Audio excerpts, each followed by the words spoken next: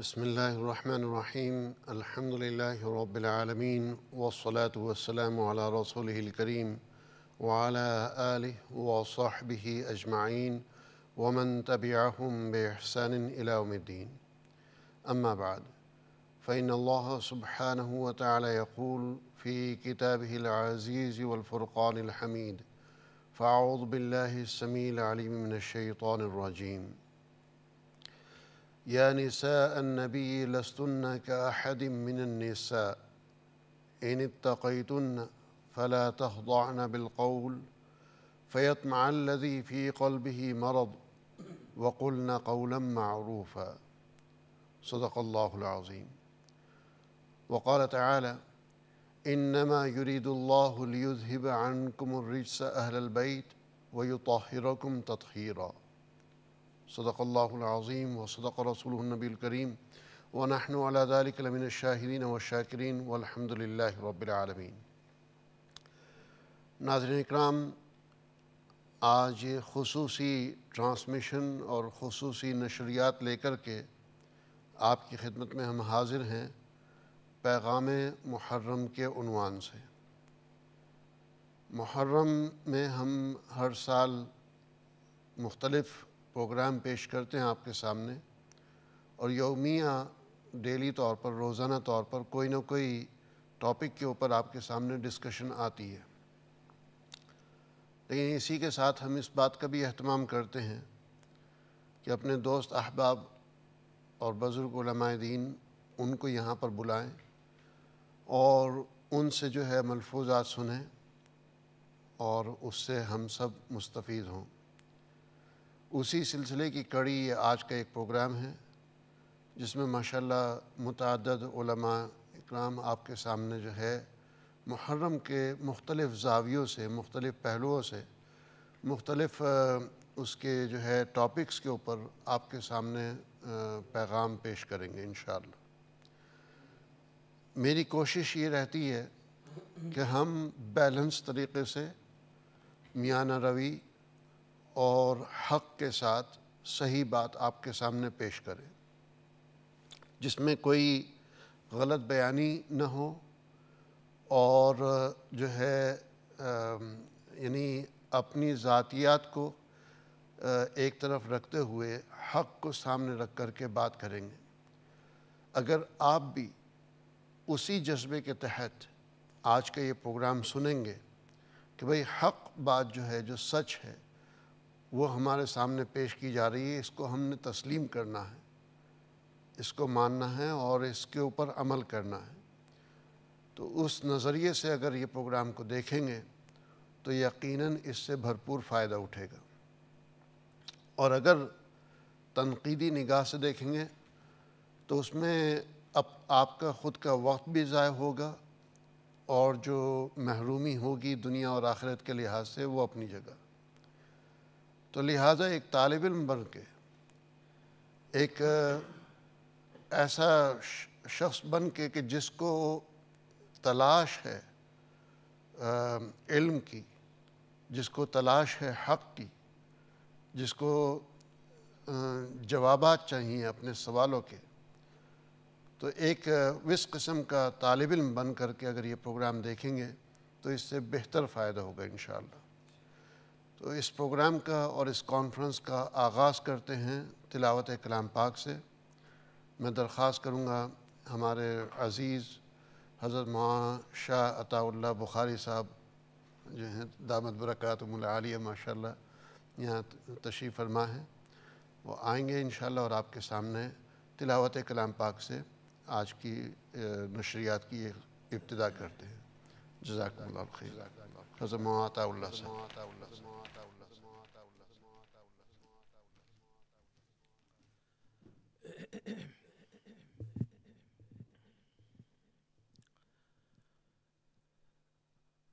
أعوذ بالله من الشيطان الرجيم. بسم الله الرحمن الرحيم.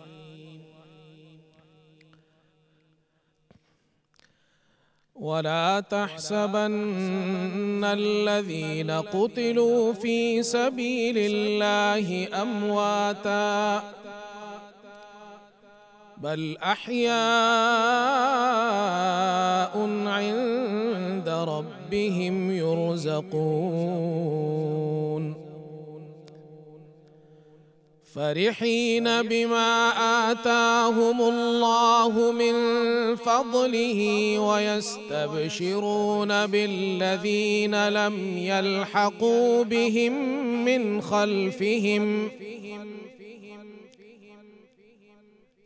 وبشر الذين لم يلحقوا بهم من خلفهم. ألا خوف عليهم ولا هم يحزنون.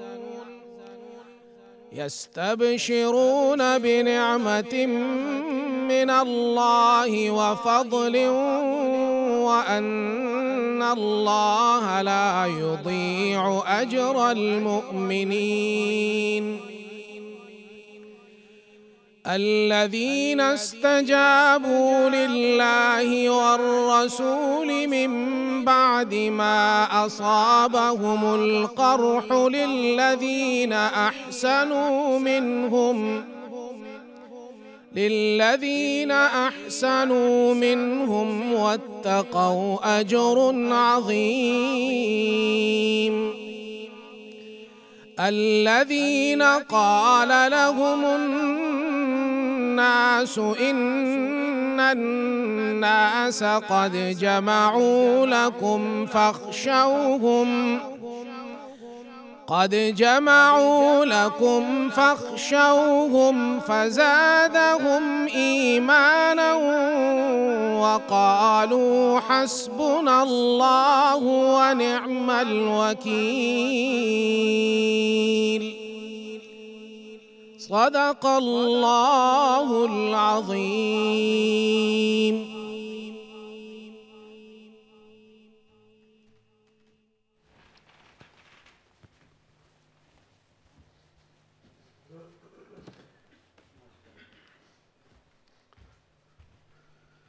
جی ماشاءاللہ، اب ہم آپ کے سامنے پیش کرتے ہیں حمد باری تعالی.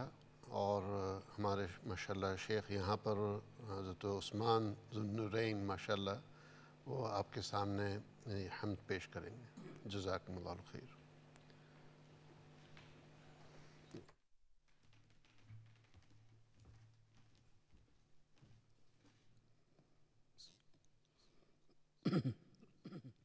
سب سے پہلے انشاءاللہ ہم کے جمع اشار اور پھر انشاءاللہ ایک نات کے کس سے مانگے؟ کہاں جائیں؟ کس سے کہیں؟ اور دنیا میں حاجت روا کون ہے؟ سب کا داتا ہے تو سب کو دیتا ہے تو۔ تیرے بندوں کا تیرے سوا کون ہے؟ سب کا داتا ہے تو۔ سب کو دیتا ہے تو۔ کون سنتا ہے فریاد؟ مظلوم کی کس کے ہاتھوں میں کنجی ہے مقصوم کی؟ کس کے ہاتھوں میں کنجی ہے مقصوم کی؟ رزق پہ کس کے پلتے ہیں شاہ و گدا؟ مسندی آربز میں عطا کون ہے؟ کس سے مانگیں کہاں جائیں؟ کس سے کہیں؟ اور دنیا میں حاجت روا کون ہے؟ کس سے مانگیں کہاں جائیں؟ کس سے کہیں۔ اولیاء تیرے محتاج اے رب کل تیرے بندے ہیں سب، انبیاء اور رسل۔ تیرے بندے ہیں سب، انبیاء اور رسل۔ ان کی عزت کا باعث ہے نسبت تیری۔ ان کی پہچان تیرے سوا کون ہے؟ کس سے مانگیں؟ کہاں جائیں؟ کس سے کہیں؟ انبیاء، اولیاء اہل بیت نبی تابعین و صحابہ پہ جب آ بنی گر کے سجدے میں سب نے یہی عرض کی، تو نہیں ہے تو مشکل کشا کون ہے؟ کس سے مانگیں کہاں جائیں؟ کس سے کہیں؟ اور دنیا میں حاجت روا کون ہے؟ کس سے مانگیں کہاں جائیں؟ کس سے کہیں؟ کون مقبول ہے؟ کون مردود ہے؟ بے خبر، کیا خبر؟ تجھ کو کیا کون ہے؟ جب تو لیں گے اعمال سب کے میزان پر، تب کھلے گا کہ کھوٹا کھرا کون ہے؟ کس سے مانگیں کہاں جائیں؟ کس سے کہیں؟ اور دنیا میں حاجت روا کون ہے؟ کس سے مانگیں کہاں جائیں؟ کس سے کہیں؟ چند اشعار نعت شریف کے پیش کر کے اجازت چاہوں گا۔ کسی غم گسار کی محنتوں کا یہ خوب میں نے سلا دیا کہ جو میرے غم میں گھلا دیا۔ اسے میں نے دل سے بھولا دیا۔ کسی غم گسار کی محنتوں۔ جو جمال روح نجات تھا۔ دلیل راہ نجات تھا جو جمال روح نجات تھا۔ جو دلیل راہ نجات تھا۔ اسی راہ بر کے نکوش پاک کو مسافروں نے مٹا دیا۔ کسی غم گسار کی محنتوں کا یہ خوب میں نے سلا دیا کہ جو میرے غم میں کھلا دیا۔ میں تیرے مزار کی جالیوں،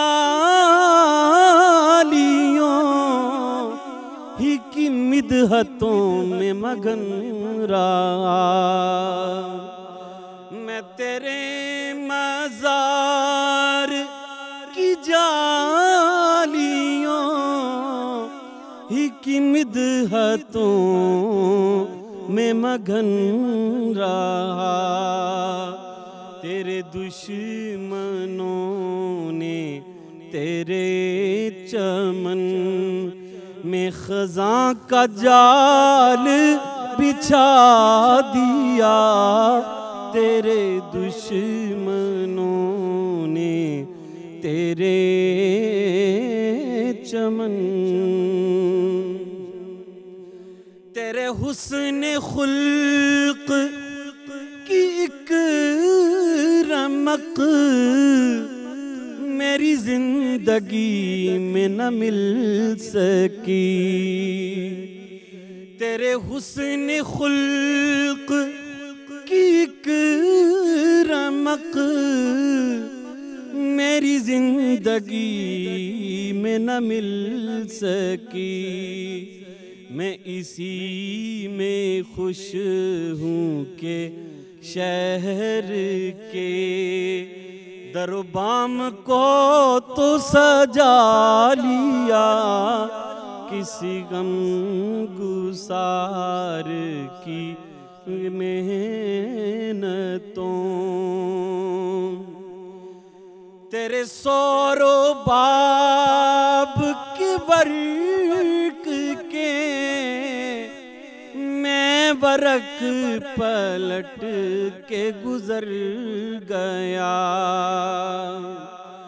تیرے سور و باب کے باب کے میں ورق پلٹ کے گزر گیا۔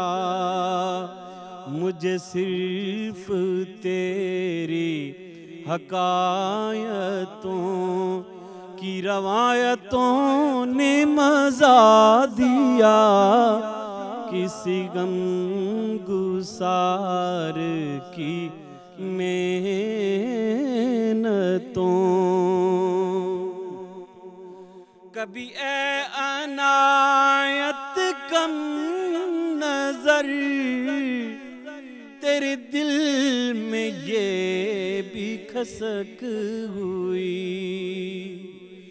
کبھی اے عنایت کم نظر، تیرے دل میں یہ بھی کھسک ہوئی۔ جو تبسم روح زیست تھا۔ اسے تیرے غم نے رولا دیا۔ کسی غم گسار کی محنتوں کا یہ خوب میں نے سلا دیا کہ جو میرے غم میں بھلا دیا۔ اسے میں نے دل سے بھلا دیا۔ کسی غم گسار کی محنتوں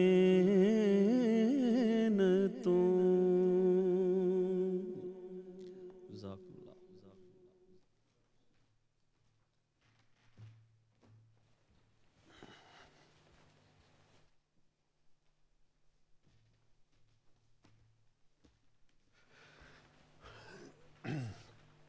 جی ماشاءاللہ جو ہے، آپ حضرات نے حضرت مولانا اللہ صاحب کی تلاوت اور قاری عثمان ذوالنورین کی حمد و نعت جو ہے ماشاءاللہ سنی اور یقیناً جو ہے یہ دل کی آواز تھی۔ تلاوت بھی بہت زبردست اور جو کلام آپ کے سامنے پیش کیا گیا وہ بھی بہت زبردست ماشاءاللہ۔ اب ماشاءاللہ جو ہے پروگرام کا آغاز کرتے ہیں۔ اور محرم کے عنوان سے حضرت ماں منور محمود محمد منور محمودی محمودی صاحب جو ہے، انہوں نے کئی دالیں جمع کر لی ہیں اپنے ناموں میں، تو وہ دالیں ہمیں ہضم نہیں ہوتیں بسا اوقات۔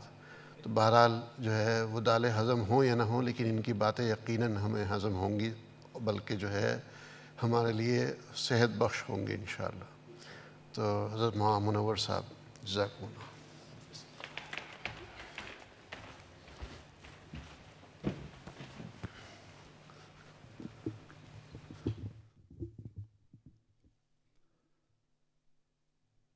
إن الحمد لله نحمده ونستعينه ونستغفره أما بعد فأعوذ بالله من الشيطان الرجيم بسم الله الرحمن الرحيم إن عدة الشهور عند الله اثنا عشر شهرا في كتاب الله. يوم خلق السماوات والأرض منها أربعة حرم. آمنت باللہ صدق اللہ مولانا العظیم ہری ہے شاخ تمنا ابھی جلی تو نہیں. ہری ہے شاخ تمنا ابھی جلی تو نہیں. دبی ہے آگ جگر، مگر بجھی تو نہیں۔ جفا کی تیغ سے گردن وفا شعاروں کی، کٹی ہے برسر میدان، جھکی تو نہیں۔ شہادت ہے مطلوب، مقصود مومن، نہ مال غنیمت، نہ کشور کشائی۔ میرے انتہائی قابل ست تکریم، واجب الاحترام علماء کرام۔ اقرا ٹی وی کے ناظرین و سامعین، آج یہاں اقرا اسٹوڈیو میں حضرت امام قاسم رشید دامت برکات ملالیہ کے حکم سے حاضری کا موقع میسر ہوا۔ یہ سالانہ عظمت محرم یا پیغام محرم کانفرنس ہے۔ میں اس چھوٹے سے پروگرام میں صرف یہ عرض کرنا چاہتا ہوں کہ محرم کیا ہے؟ آج اس امت میں جب ماہ محرم کا چاند نظر آتا ہے، تو ہر طرف ایک ہی سوچ ہے کہ یہ غم کا مہینہ ہے، یہ سوگ کا مہینہ ہے، یہ کالے کپڑے پہننے کا مہینہ ہے، لیکن اس کے برعکس اگر ہم اللہ کے قرآن کو کھولتے ہیں، نبی کریم صلی اللہ علیہ وسلم کے فرمان کو دیکھتے ہیں، تو ہمیں یہ تعلیمات نظر آتی ہیں کہ اللہ سبحانہ و تعالی نے جس دن اس آسمان و زمین کو پیدا کیا تھا، اسی دن اللہ نے اس ماہ محرم کو عظمت اور تقدس عطا فرمایا تھا۔ محرم کے معنی کیا ہیں؟ محرم کہتے ہیں جس چیز کو عزت عطا کی گئی ہو، جس چیز کو بلندیاں عطا کی گئی ہوں، جس چیز کو پاکیزگی عطا کی گئی ہو۔ جناب سید الکائنات رحمت کونین صلی اللہ علیہ وسلم فرماتے ہیں، افضل السیام بعد الرمضان شہر اللہ المحرم، کائنات والو اگر کوئی انسان رمضان کے بعد فضیلت والے روزے رکھنا چاہتا ہے، تو وہ محرم کے روزے رکھے۔ یہ محرم ایک اتنی عظمت والا مہینہ ہے کہ ہم اگر ہم تاریخ انسانیت کا مطالعہ کریں، تو تاریخ ہمیں یہ بتاتی ہے کہ حضرت آدم علیہ السلام کی توبہ جب قبول ہوئی، تو یوم عاشور کا دن تھا۔ حضرت نو علیہ السلام کی کشتی جب جبل جودی پہ لگی تو عاشور کا دن تھا۔ اسی طریقے سے حضرت یعقوب اور حضرت یوسف علیہ السلام کی جب ایک طویل بچھڑنے کے بعد ملاقات ہوئی تو یہ یوم عاشور کا دن تھا۔ حضرت موسیٰ علیہ السلام اور ان کی قوم کو اللہ نے جب فرعون سے نجات عطا فرمائی اور وہ دریا کے کنارے پہنچے تو یہی یوم عاشور کا دن تھا اور فرعون کو اسی عاشور کے دن کے اندر انا ربکم العالی کہنے والے کو اللہ نے پانی کے اندر غرق کیا، چونکہ ٹائم مختصر ہے، میں ان پوری تفصیلات کے اندر نہیں جانا چاہتا۔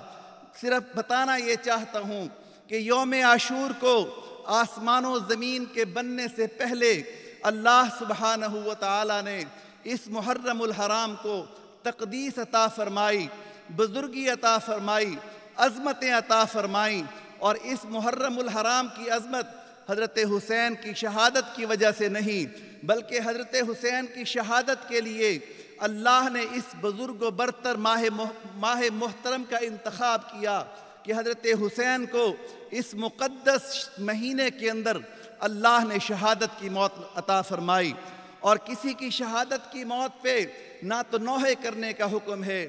جناب سید الکائنات نبی کریم صلی اللہ علیہ وسلم فرماتے ہیں لیس منا من شقل لیس منا من ضرب الخدود وشق الجیوب و ودعا بدعوت الجاہلیہ کہ وہ انسان جو غم اور مصیبت میں اپنے چہروں کو پیٹے اور اپنے گریبان کو چاک کرے اور دعو اور جاہلیت کی باتیں کرے، وہ ہم میں سے نہیں، بلکہ اسلام تو صبر کا حکم دیتا ہے اور شہادت اتنی عظیم موت ہے کہ اللہ کے پیارے نبی صلی اللہ علیہ وسلم خود ارشاد فرماتے ہیں، اے اللہ، میں تیرا حبیب یہ چاہتا ہوں، ان ارید ان اقتل، کہ میں تیرے راستے کے اندر شہید کر دیا جاؤں، اور پھر تو مجھے سم احیا، تو مجھے زندگی عطا فرما، میں پھر شہید کر دیا جاؤں، پھر تو مجھے زندگی عطا فرما سم اقتل سم احیا سم اقتل سم احیا۔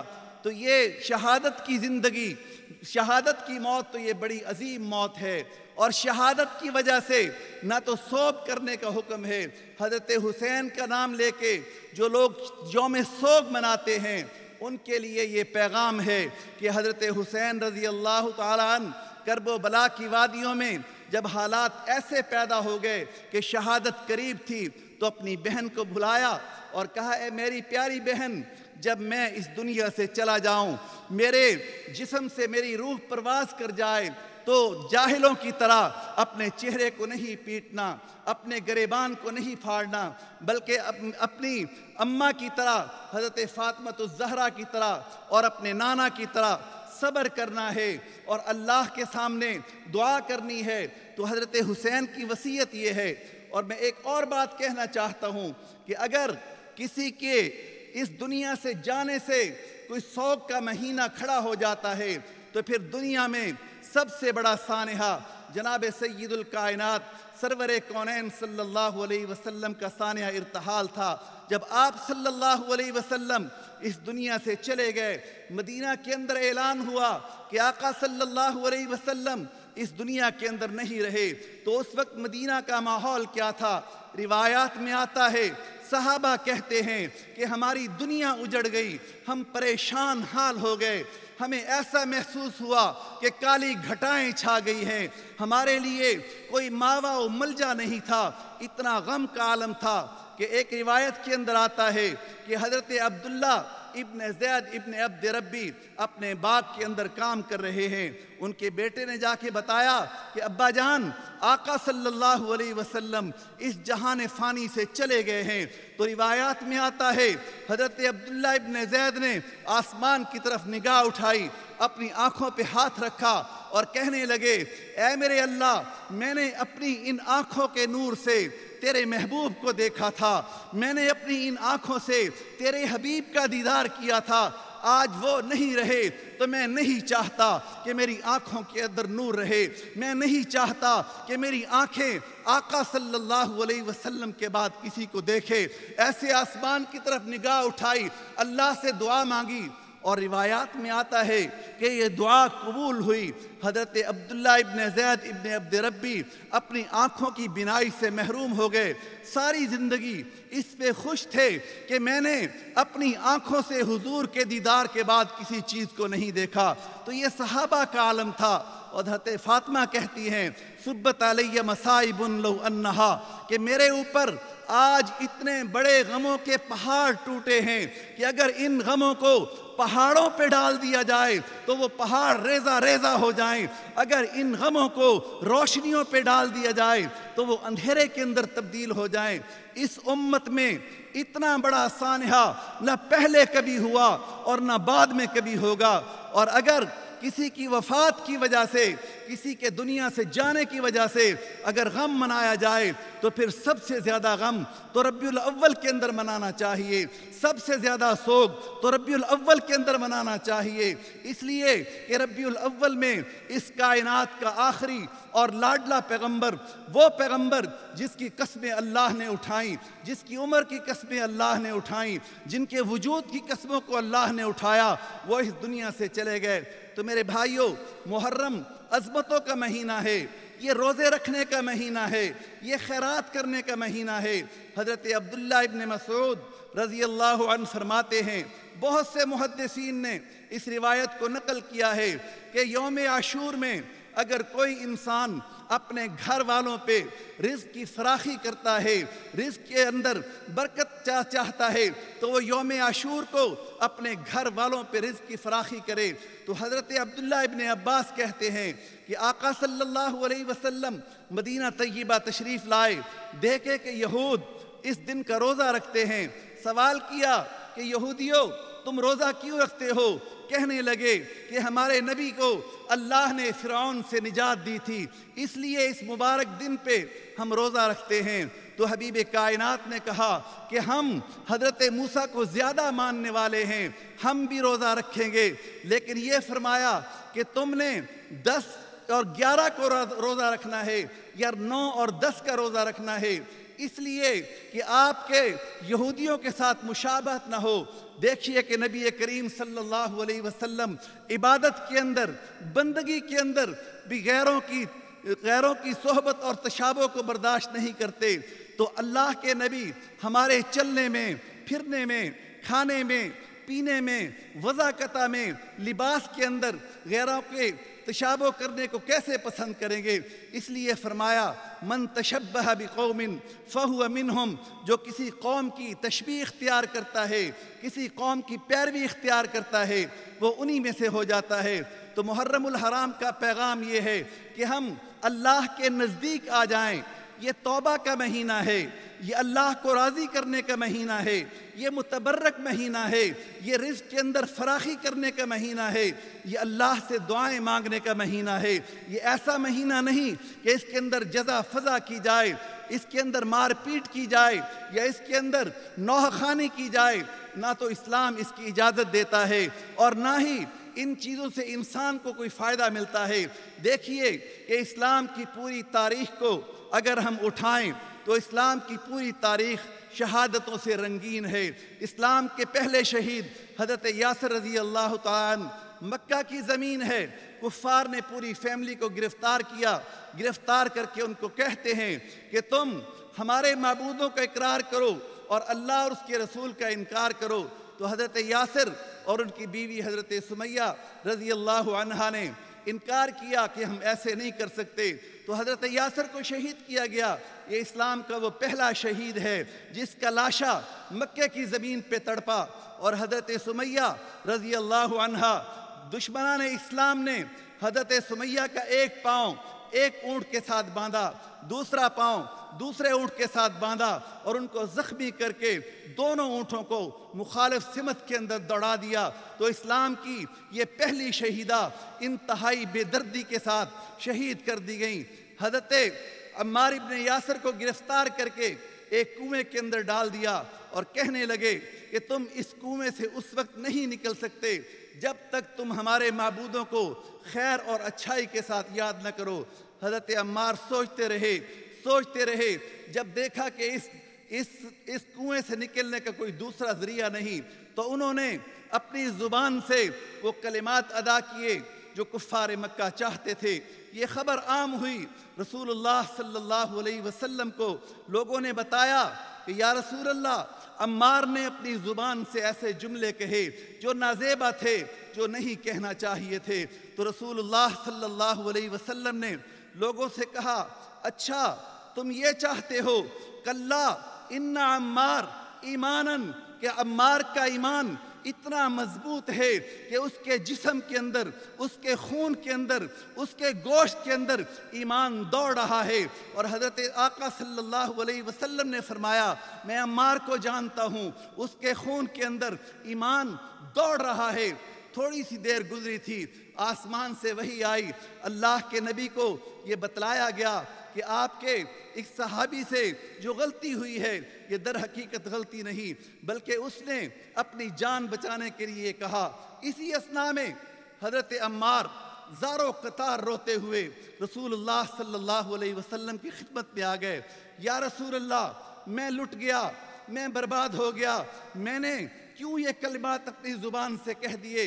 تو رسول اللہ صلی اللہ علیہ وسلم روایات میں آتا ہے، فَمَسَحَ رسول اللہ صلی اللہ علیہ وسلم دمع عینیہ پیارے حبیب نے اپنے مبارک ہاتھوں سے حضرت عمار کے آنسوؤں کو حضرت عمار بن یاسر کے آنسوؤں کو صاف کیا اور کہنے لگے، میرے پیارے غلام، کوئی بات نہیں، اگر زندگی میں کبھی ایسا موقع پھر بھی آ جائے تو تم اپنی جان بچانے کے لیے اللہ نے اجازت دی ہے۔ تم ایسے جملے کہہ دینا۔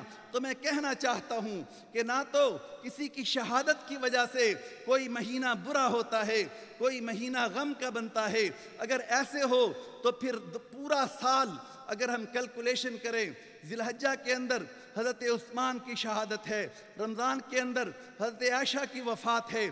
پورے سال کے ایک ایک دن میں امت کا کوئی فقیر امت کا کوئی عالم، امت کا کوئی مجاہد اس دنیا سے گیا ہوگا تو نہیں۔ ان عدت الشہور عند اللہ اثنا عشر شہرا فی کتاب اللہ۔ جس دن سے یہ کائنات بنی، محرم عظمت والا ہے۔ جس دن سے یہ کائنات بنی، محرم کو مرتبے عطا کیے گئے۔ جس دن سے یہ کائنات بنی ہے، محرم عظمتوں کا مالک ہے، محرم برکتوں کا مالک ہے۔ یہ اللہ کا مہینہ ہے۔ اور یہ ہمیں اللہ کے حبیب نے بتلایا ہے کہ شہر اللہ محرم یہ رمضان بھی اللہ کا مہینہ ہے اور محرم بھی اللہ کا مہینہ ہے۔ جس چیز کی نسبت اللہ کی طرف کر دی گئی ہو، وہ عظیم کیوں نہ ہو؟ اس لیے ہمیں چاہیے کہ ہم اس ماہ محرم میں وہ کام کریں۔ جو کام کرنے کا اللہ اور اس کے حبیب نے ہمیں حکم دیا اور ان کاموں سے اجتناب کریں۔ جن کاموں کو اللہ اور اس کے حبیب نے ہمیں کرنے سے منع فرمایا یا وہ کام جو ہمیں اللہ اور اس کے حبیب سے دور کرتے چلے جائیں، ہمیں ان کاموں سے رک جانا چاہیے اور جو کام ہمیں اللہ کی طرف لے کے جائیں، ہمیں اللہ اور اس کے رسول کا قرب مل جائے، ہمیں وہ کام کرنے چاہیے۔ میں انہی معروضات کے ساتھ، انہی الفاظ کے ساتھ اپنی معروضات کو ختم کرتا ہوں کہ اللہ رب العزت ہمیں محرم کو، اس کی عظمت، تقدس اور پاکیزگی کو صحیح معنوں کے اندر سمجھنے کی توفیق نصیب فرمائے اور اللہ سبحانہ و تعالی اس امت سے وہ کام کروا لے جس سے اللہ اور اس کے حبیب راضی ہوں اور ان کاموں سے اللہ اس امت کو محفوظ کر لے، اللہ اس امت کو ان کاموں سے دور کر دے جن کاموں سے اللہ اور اس کے رسول ناراض ہو جائیں۔ میں مبارکباد پیش کرتا ہوں۔ حضرت امام قاسم دامت برکات ملالیہ اور ان کی پوری ٹیم کو کہ یہ پورے سال میں موقع اور محل کی نسبت کے ساتھ دینی پروگراموں کو سجاتے ہیں۔ اللہ ان کی اس کاوش کو، ان کی محنت کو قبول و منظور فرمائے اور اللہ ان تمام اداروں کو اپنی حفاظت کے اندر رکھے۔ وآخر دعوانا الحمدللہ رب العالمین۔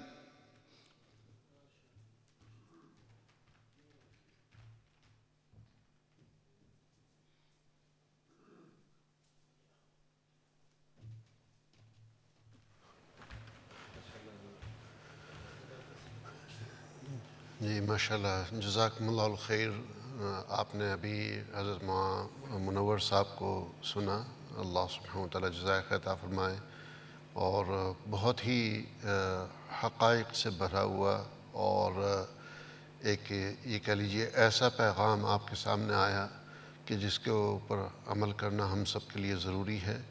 اور جو کہ ایک بیلنس ویو کے ساتھ آپ کے سامنے پیش کیا گیا ہے۔ امید ہے کہ انشاءاللہ اس مجلس سے آپ ضرور بھرپور فائدہ اٹھائیں گے۔ ابھی تو مجلس کی ابتدا ہے۔ انشاءاللہ اگلے ہمارے مقرر ہیں حضرت ماں عطا اللہ صاحب، جو شان اہل بیت ان کے حوالے سے آپ کے سامنے تذکرہ فرمائیں گے انشاءاللہ۔ تو ضرور محسوس رہیے گا۔ اللہ سبحانہ وتعالی جزائے خطا فرمائیں حضرت ماں عطا اللہ صاحب۔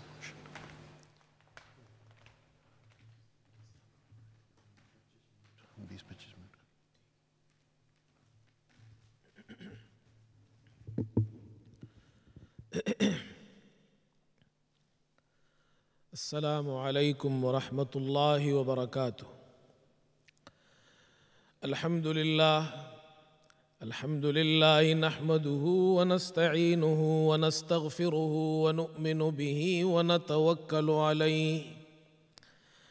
ونعوذ بالله من شرور أنفسنا ومن سيئات أعمالنا من يهده الله فلا مضل له ومن يضلله فلا هادي له ونشهد أن لا إله إلا الله وحده لا شريك له ونشهد أن سيدنا وحبيبنا ومولانا محمدا عبده ورسوله. صلى الله تعالى على خير خلقه محمد وآله وأصحابه أجمعين. أما بعد فأعوذ بالله من الشيطان الرجيم. بسم الله الرحمن الرحيم. انما يريد الله ليذهب عنكم الرجس اهل البيت ويطهركم تطهيرا. صدق الله مولانا العظيم. محترم حضرات علماء اکرام اور اقرا ٹی وی چینل کے ناظرین، سب سے پہلے میں ہمارے انتہائی محترم اور مکرم حضرت مولانا امام قاسم صاحب اور اقرا ٹی وی چینل کی پوری ٹیم کو مبارکباد پیش کرتا ہوں کہ آپ حضرات نے محرم کے اس مہینے میں ایک بہت ہی خوبصورت عنوان، پیغام محرم کے عنوان سے اس مجلس کا انعقاد کیا ہے جو لائیو نشر ہو رہی ہے۔ ہمارے مسلمان بہن بھائی گھروں میں اس کو دیکھ رہے ہیں اور انشاءاللہ میرے علاوہ دیگر علماء اکرام یہاں موجود ہے وہ اپنے اپنے وقت پر بیان کریں گے۔ ایک اچھا کام یہ بھی ہے کہ یہ جو ایام آتے ہیں، ان ایام میں حضرات صحابہ اکرام کے حوالے سے ہو یا دیگر حوالے سے ہو اس پر اس قسم کے مثبت پروگرام پیش کرنے سے فائدہ یہ ہوتا ہے کہ ہمارے مسلمانوں کو صحیح معلومات فراہم کی جاتی ہے۔ اور موقع کی مناسبت سے یہ معلوم ہوتا ہے کہ ہمیں اس موقع پر کیا کرنا چاہیے۔ اسی طرح آج کی اس مجلس میں حضرت نے ایک اہتمام یہ بھی فرمایا کہ کچھ علماء اکرام کے بیانات اردو میں ہو رہے ہیں۔ اور چونکہ ہم یہاں یوں کیو کے انگلینڈ میں رہتے ہیں، یورپ میں یہ چینل دیکھا جاتا ہے، پوری دنیا کے اندر نیٹ پر بھی دیکھا جاتا ہے۔ تو ہمارے نوجوان عالم دین حضرت مولانا احمد قاضی صاحب، وہ آخر میں پھر اس پورے پروگرام کا نچوڑ اور خلاصہ انگلش میں بیان کریں گے۔ سو دیر ول بی انشاءاللہ English translation at the end of this program and it will be delivered by our brother Sheikh حضرت مولانا احمد قاضی صاحب ہی ول انشاءاللہ give speech and he will conclude the program and he will deliver the summary of the all speeches which are you know delivering in Urdu میں شان اہل بیت کے حوالے سے اس موضوع پر چند گزارشات پیش کرنا چاہتا ہوں۔ میری کوشش یہ ہوگی کہ میں مختصر وقت میں شان اہل بیت کا آغاز محمد صلی اللہ علیہ وسلم کے گھر سے شروع کروں اور کربلا کے میدان میں ختم کروں۔ کیونکہ اہل بیت ہمیں محمد صلی اللہ علیہ وسلم کے گھر میں بھی نظر آتے ہیں اور اہل بیت اور آل رسول ہمیں کربلا میں بھی نظر آتے ہیں۔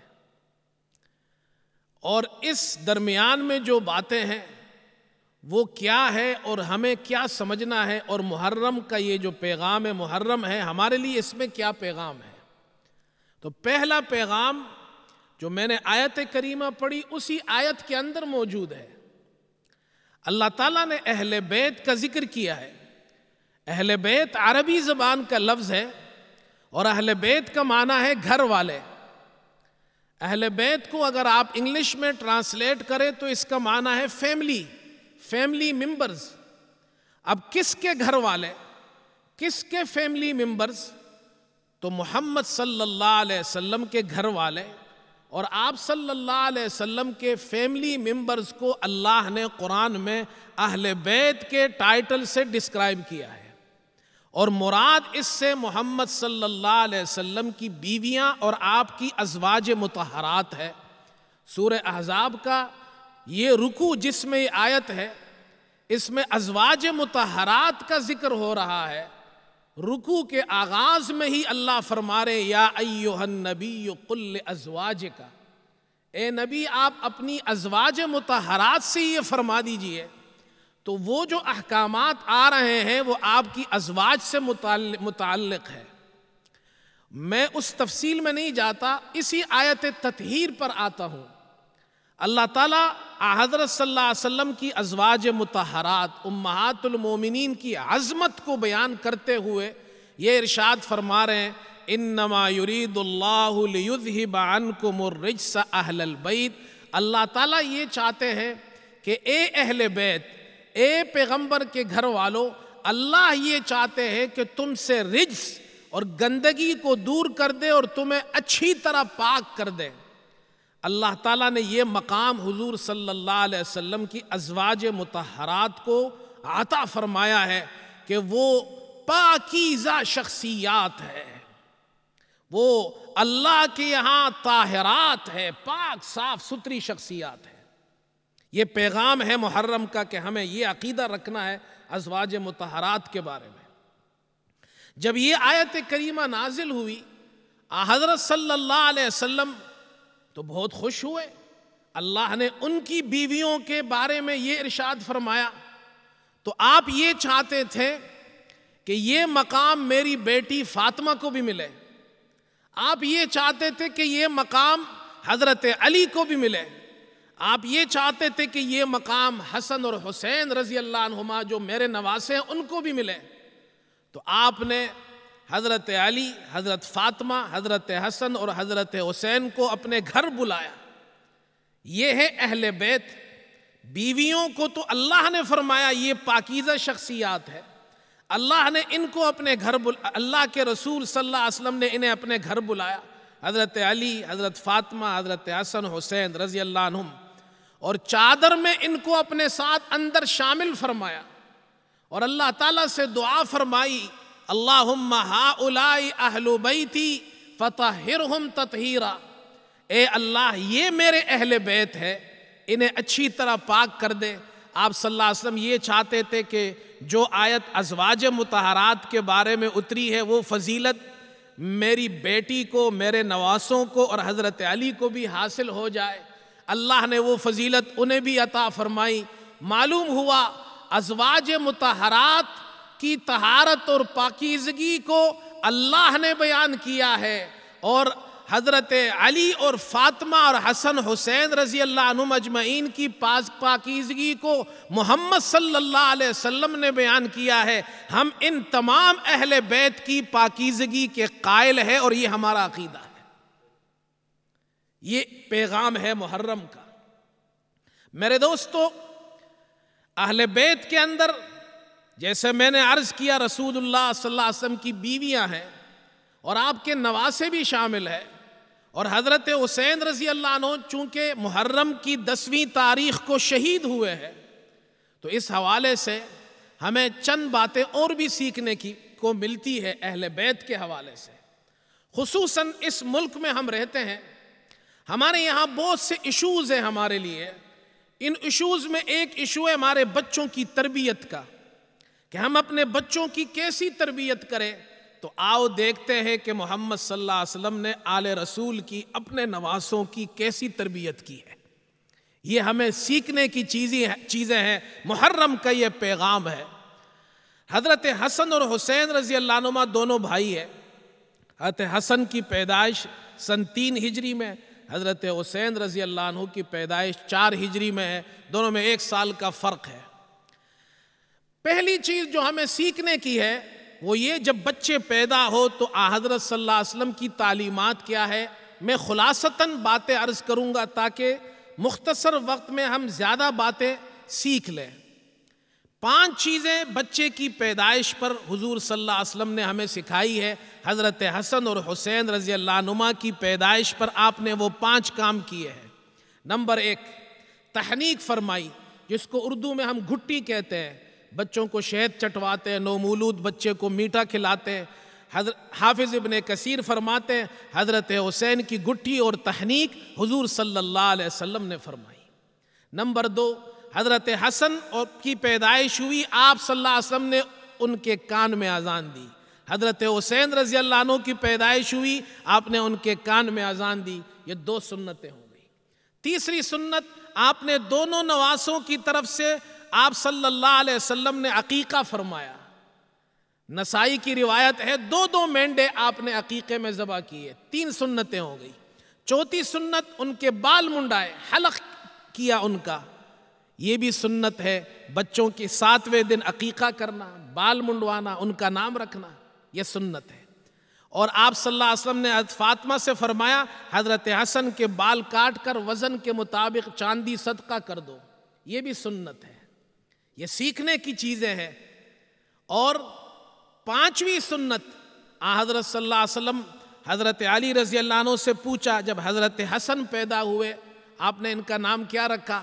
حضرت علی نے فرمایا، حرب۔ حضرت علی تو بہادر آدمی تھے، اسلامی جنگوں میں حصہ لیا انہوں نے۔ فرمایا، میں نے ان کا نام حرب رکھا ہے۔ آپ نے فرمایا، نہیں، ان کا نام حرب نہیں ہے، ان کا نام حسن ہے۔ حضرت حسین پیدا ہوئے، پھر پوچھا، آپ نے کیا نام رکھا؟ حضرت علی نے فرمایا، حرب، آپ نے فرمایا، حرب نہیں، حسین ہے۔ تو بچوں کے نام رکھنا، حسن اور حسین کے نام محمد صلی اللہ علیہ وسلم نے رکھے ہیں۔ یہ پانچ کام ہے بچوں کی پیدائش پر کرنا سنت ہے۔ یہ ہمیں اہل بیت سے معلوم ہوئے۔ یہ ہمیں حضور صلی اللہ علیہ وسلم کے گھر والے، ان کے نواسوں سے معلوم ہوئے۔ آگے چلیے۔ پھر بچوں کی تربیت کیسی کرنی ہے؟ تو میں وہ ساری ڈیٹیل نہیں، میں نے اس کا ایک خلاصہ بیان کی بیان کر رہا ہوں۔ وہ چار چیزیں ہیں۔ ہم اس ملک میں اپنے بچوں کی کیا تربیت کریں، انہیں کیا تعلیم دیں، وہ چار چیزیں ہیں۔ اور چاروں چیزیں حضرت حسن اور حسین رضی اللہ عنہما نے احادیث میں بیان کی ہے حضرت حسن بچے تھے۔ جب محمد صلی اللہ علیہ وسلم کا انتقال ہوا، حضرت حسن کی عمر سات سال، حضرت حسین کی چھ سال۔ لیکن علماء نے، محدثین نے ان سے حدیثیں بھی نقل کی ہے معلوم ہوا صحابہ میں جو بچے تھے، ابھی بالغ نہیں ہوئے، ان کی احادیث بھی صحابہ نے قبول کی ہے امام احمد نے مسند احمد میں مستقل چیپٹرز قائم کیے۔ حضرت حسن کی حدیثیں، حضرت حسین کی حدیثیں۔ اب وہ کیا تعلیمات ہے جو ہم اپنے بچوں کو یہاں دیں؟ تو وہ چار چیزیں ہیں، خلاصتاً۔ تفصیل نہیں، ورنہ اس پر تو مستقل ایک ٹاپک کے عنوان سے، ایک مستقل عنوان سے بیان ہو سکتا ہے۔ پہلی تعلیم بچوں کو کس چیز کی دینی ہے؟ ایک مرتبہ حضرت حسن رضی اللہ عنہ سے کسی نے پوچھا کہ محمد صلی اللہ علیہ وسلم کی کوئی بات آپ کو یاد ہے؟ آپ تو چھوٹے بچے تھے۔ فرمایا ہاں مجھے یاد ہے۔ میں آپ صلی اللہ علیہ وسلم کے ساتھ جا رہا تھا، میں چھوٹا بچہ تھا۔ میں نے صدقات زکوٰۃ کی ایک کھجور اٹھا کر منہ میں ڈال لی۔ آپ صلی اللہ علیہ وسلم نے فرمایا، اسے پھینک دو، یہ ہمارے لیے محمد صلی اللہ علیہ وسلم اور آل محمد کے لیے حلال نہیں ہے۔ پہلی چیز، بچوں کو یہ سکھانا ہے، حلال کیا ہے، حرام کیا ہے۔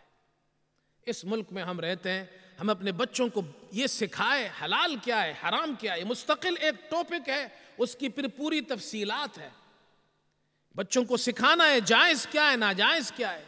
تاکہ اس مسلمان بچہ آگے جائے تو اسے پتہ تو ہو میں نے زندگی کیسے گزارنی ہے۔ نمبر دو، حضرت حسن فرماتے ہیں، مجھے حضور صلی اللہ علیہ وسلم نے دعائے قنوت سکھائی۔ دعائے قنوت تو ایک ہم پڑھتے ہیں نا اللہ انا نستعین حدیث میں اور بھی آئے ہیں۔ اللہم اہدنی فی من حدیت وعافنی فی من عافیت، وتولنی فی من تولیت۔ یہ دعا قنوت حضرت حسن فرماتے ہیں، مجھے حضور صلی اللہ علیہ وسلم نے سکھائی ہے، بچوں کو بچپن میں دعا قنوت سکھانا، نماز سکھانا، قرآن پڑھے وہ صحیح۔ انہیں پتہ ہو نماز کیسے پڑھتے وضو کیسے کرتے پاکی کیا ہے، ناپاکی کیا ہے۔ یہ ہمیں اہل بیت سے یہ تعلیمات مل رہی ہے۔ آگے چلیے، تیسری تعلیم حضرت حسین رضی اللہ عنہ فرماتے ہیں، محمد صلی اللہ علیہ وسلم، میرے نانا نے مجھے یہ ارشاد فرمایا لسائل حق و انکان علی فرس۔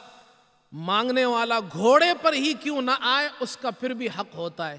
مانا یہ تمہارے اندر سخاوت ہونی چاہیے۔ جو تم سے مانگے، تم انہیں عطا کرو۔ تم پیغمبر کے نواسے ہو، کسی کو خالی ہاتھ مت جانے دینا۔ تمہارے اخلاق اچھے ہونے چاہیے۔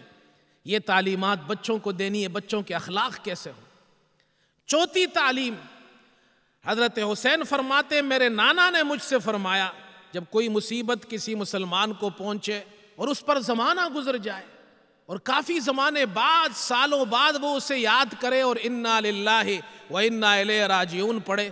اللہ اس وقت اس انا للہ پڑھنے پر بھی وہ اجر عطا فرماتا ہے جو مصیبت کے وقت صبر کرنے پر اجر ملتا ہے۔ بچوں کو یہ سکھانا، تکلیف آ جائے، پریشانی آ جائے، مصیبت آ جائے، گھبرانا نہیں۔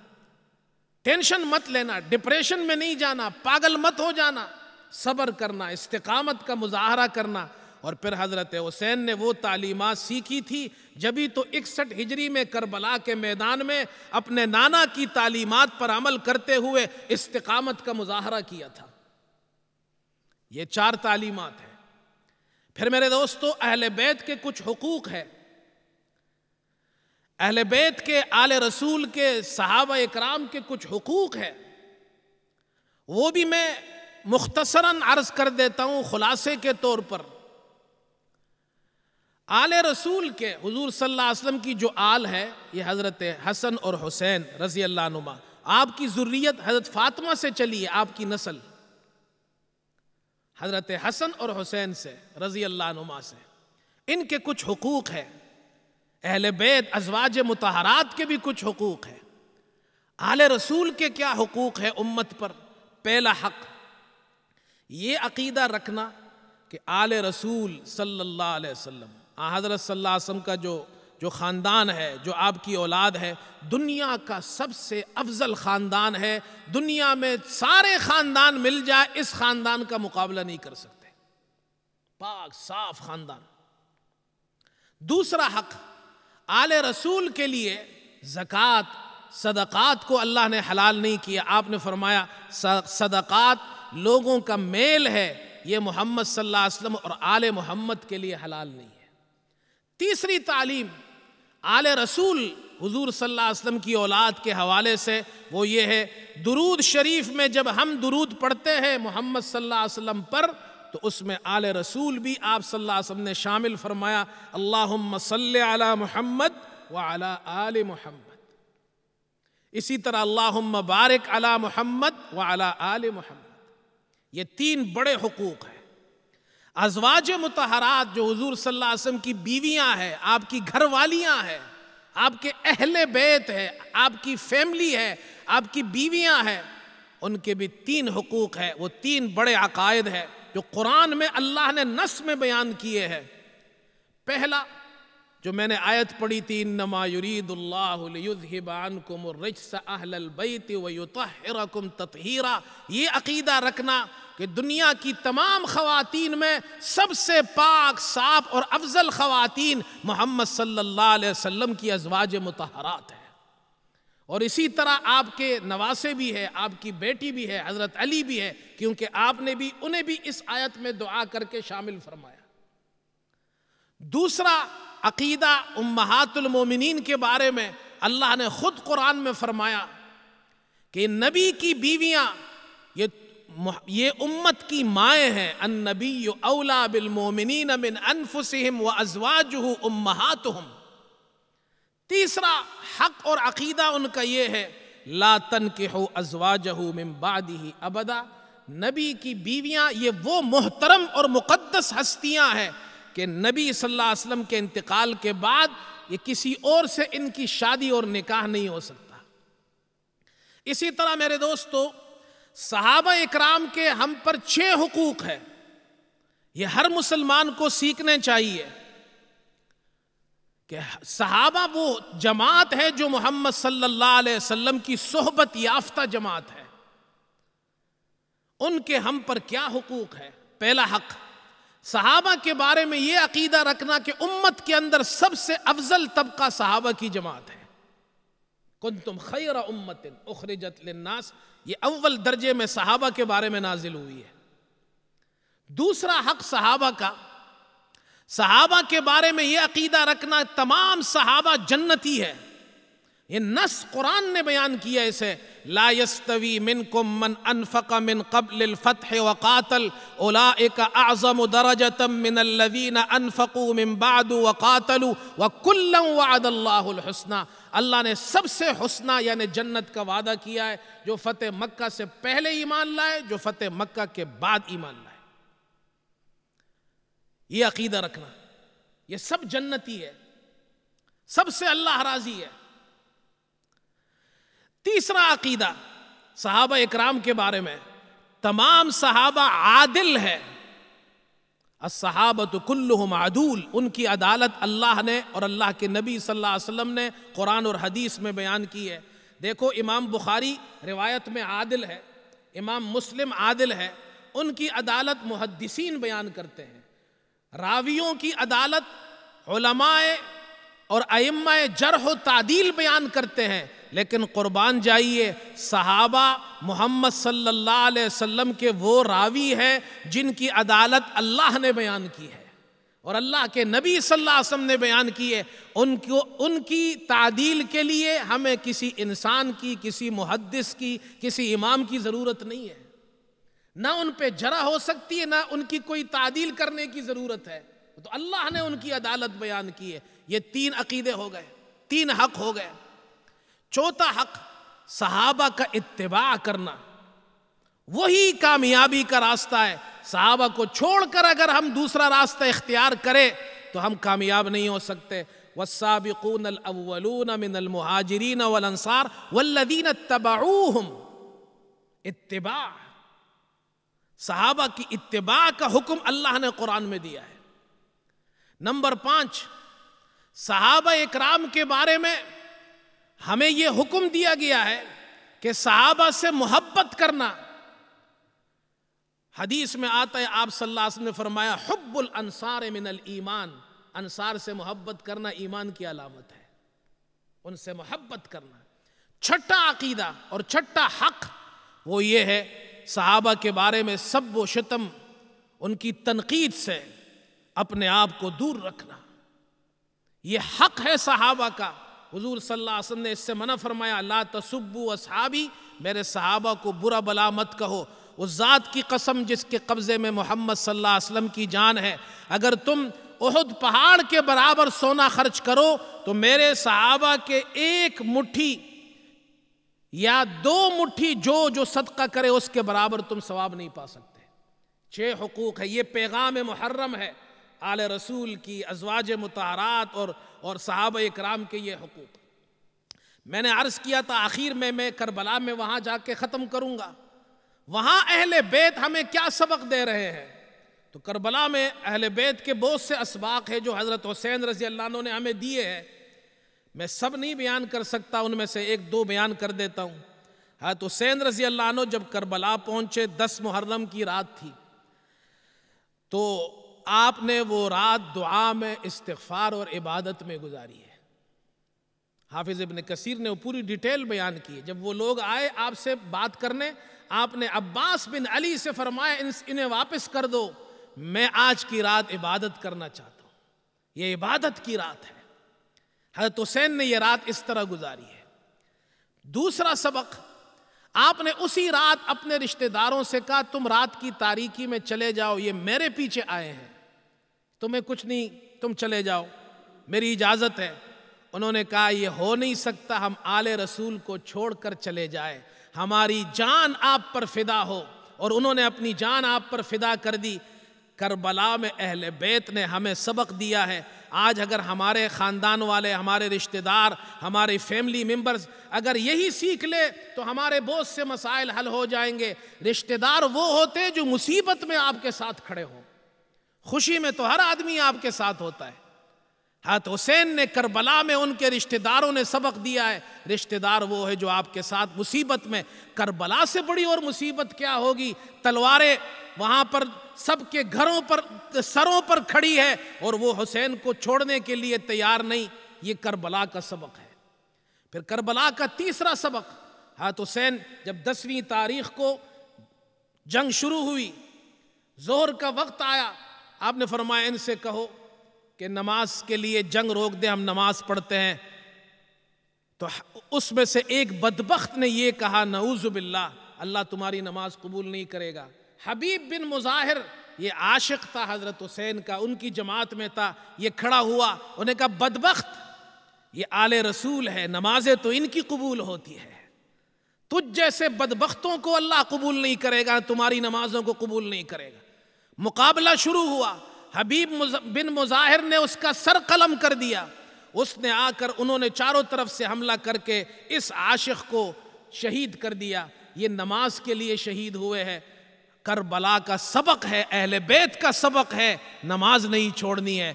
یہ چند باتیں میں نے عرض کی ہے اللہ تعالیٰ سے دعا ہے۔ اللہ تعالیٰ ہم سب کو عمل کی توفیق نصیب فرمائے۔ وآخر دعوانا ان الحمد للہ رب العالمین۔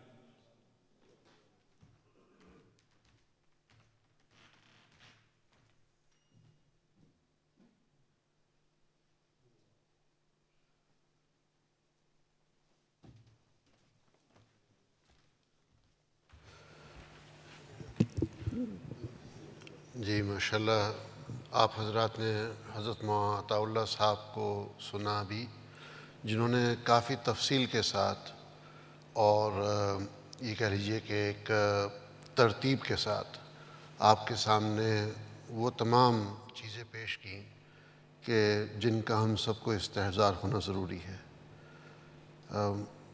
عدد کے حساب سے اور گنتی کے حساب سے ماشاءاللہ آپ کے سامنے حقوق بیان کیے، چاہے وہ ہمارے گھر میں بچوں کی پیدائش ہو، آ، حضور صلی اللہ علیہ وسلم کے گھر والوں کا مقام ہو، یا قرآن نے جو فضیلت بیان کی ہے، آ، حضور صلی اللہ علیہ وسلم کے گھر والوں سے متعلق، اس کا تذکرہ ہو، یا یہ کہ جو ہے آگے چل کر کے کربلا کا واقعہ ہو۔ تو ماشاءاللہ یہ پورا، یہ کہہ لیجیے کہ ایک دریا کو کوزے میں جو ہے سمیٹ کر کے آپ کے سامنے حضرت مولانا نے پیش کیا ہے، ماشاءاللہ۔ یہ پروگرام کو ہم جاری رکھیں گے، لیکن ایک مختصر بریک کی طرف جاتے ہیں اور بریک کے بعد پھر آپ سے ملاقات ہوتی ہے۔ اس کے بعد انشاءاللہ ہم جو ہے آپ کے سامنے ایک حمد و نعت پیش کریں گے اور پھر پروگرام کو انشاءاللہ آگے جاری رکھیں گے۔ تھوڑی دیر میں ملاقات ہوتی ہے۔ السلام علیکم ورحمۃ اللہ وبرکاتہ۔